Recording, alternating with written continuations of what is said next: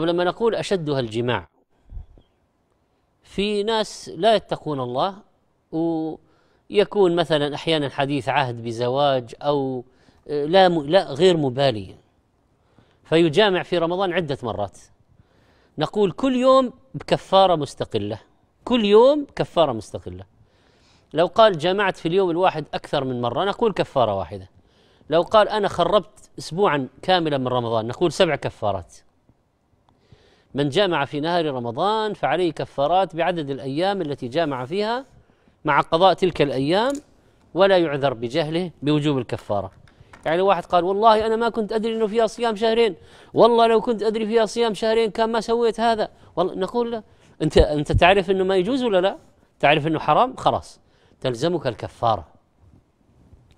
طيب إذا جامع في نهار رمضان جامع في في الليل وطلع الفجر وجب عليه أن ينزع فورا وصوم صحيح ولو خرج منه شيء بعد النزع. بس المهم أول ما أذن نزع انتهينا خلاص. فعل ما عليه. أما لو كمل عليه آه، الكفارة المغلظة ونسأل الله السلامة.